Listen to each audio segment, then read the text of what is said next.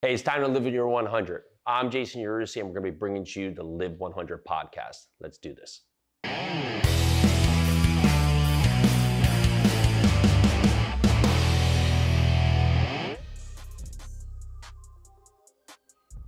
So, most of our time in our life is that we have to change our mind before we can make the big changes in our day and our part. And we grow up, we grow up surrounded by people that maybe have like kind of thoughts, and their thoughts maybe start to evolve us into who we become today. It's not because they really are trying to do something poor for us or not trying to put us in the right position to be successful. It's however, it's what they were exposed to, right? We can't take the same feedback from my grandma who went through the Great Depression as I can from people today, right? Because she lived different times and she's making different choices.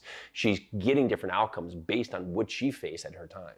So as we go through our day, through our life, and if we want to live 100, in all aspects of our life. We have to treat it as if each day is that new chance for us to try new things to become better.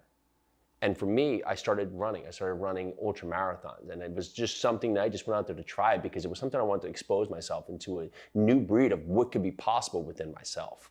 And when I looked at the first 100 mile race, I couldn't tell you exactly how that felt because I had never done that before. And I didn't know anybody else who had done that. But ideally, I said, okay, I'm going to try something outside of what I'm used to. What do I need to do? Well, I need to put myself in the uncomfortable.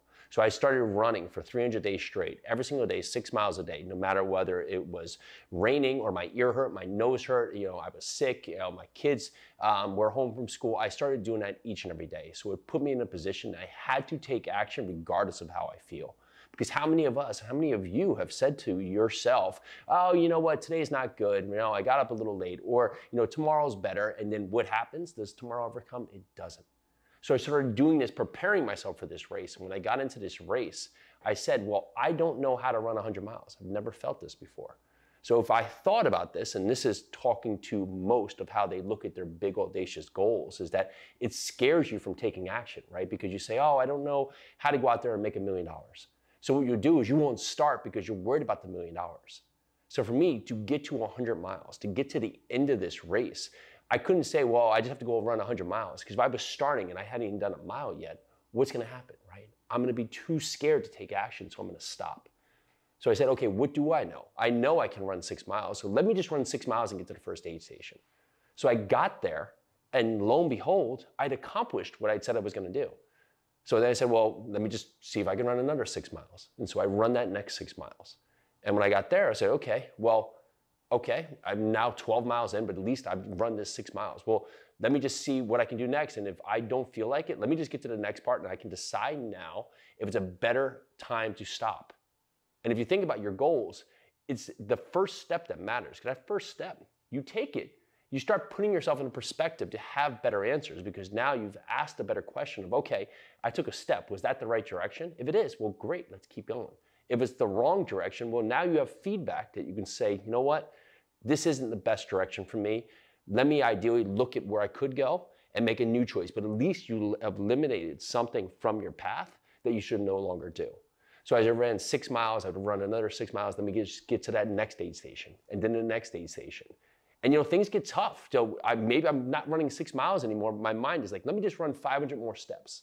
Okay, let me just run 200 more steps. Let me, let me just run to that bridge. And okay, let me just run another 200 steps to that tree. And I'll figure it out then. If I don't feel like keep going, well, then I'll stop there.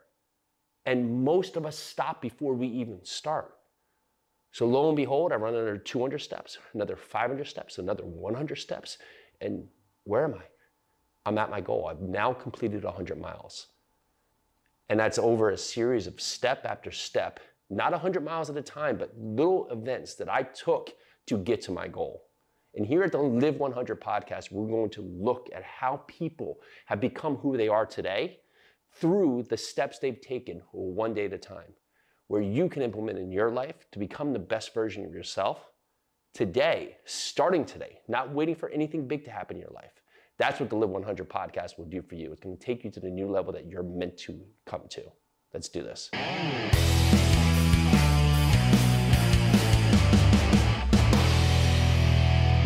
Hey, thanks for joining us. If you enjoyed this podcast, make sure you go down there and give us a review and share this with someone else that this could help as well to live their 100. Let's go.